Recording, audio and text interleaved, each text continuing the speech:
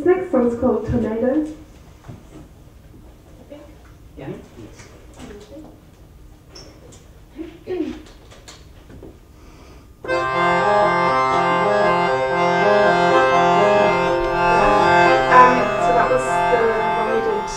just before we stopped talking. Um, it's a song about my time in Missouri um, and sort of different impressions that I got there.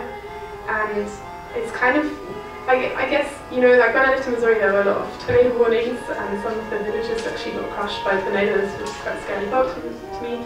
But it's not really about tornadoes, it's about the kind of feeling that I got from it and all the other sort of emotional entanglements that come with that.